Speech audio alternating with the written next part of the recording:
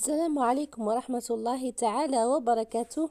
اليوم جبت لكم معلومة على الخفيف راح نقولها لكم إن شاء الله وإن شاء الله تستفادوا منها. هذه للمتزوجات والعازبات أيضا. جبت لكم سر توب أرواحوا تابعوا معايا الفيديو للآخر. روتين ما بعد العادة الشهرية والإعتناء بالمنطقة الحساسة في هذه الفترة. يخلي رائحتها طول الشهر طاهرة حيث أنه يوجد منهن من يعاني من رائحة تقول لك أنا ما شميتهاش لكن زوجي يقول أنه توجد رائحة غير مرغوب بها في المنطقة الحساسة. وهو الشيء حساس جدا لنفسية المرأة. وحتى أن ألم الدورة الشهرية ينقص بهذه الطريقة. وأي هواء أو ميكروب تنزل حتى أنك تحسي بها ومع الوقت تطهري من أي ميكروبات. نصنع قناع الزعتر والخزامة. واش راح نديرو نضع الزعتر والخزامة مقدار متساوي منهما في ماء على نار هادئة مدة خمس دقائق وهو سخون.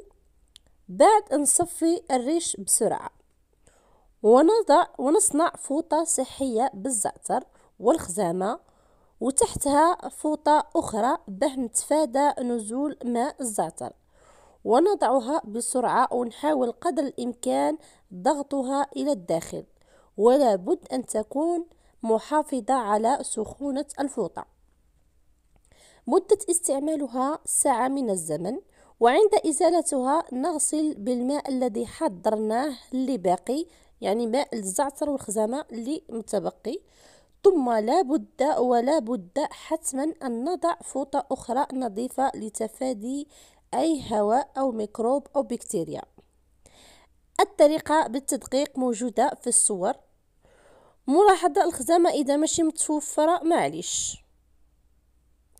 أروخ هذه هي الطريقة. اللي ما تحبش تستعمل فوطات هادو تقدر تستعمل فوطات صحية عادية في مكانها وتجرب هذه الطريقة وإن شاء الله راح تتخلصوا من الرائحة ومن الألم الدورة الشهرية ومن أي ميكروبات أو هواء داخل الرحم. جربوها وادعوا لي وإن شاء الله تكون عجبتكم. نلتقي إن شاء الله في فيديو جديد والسلام عليكم.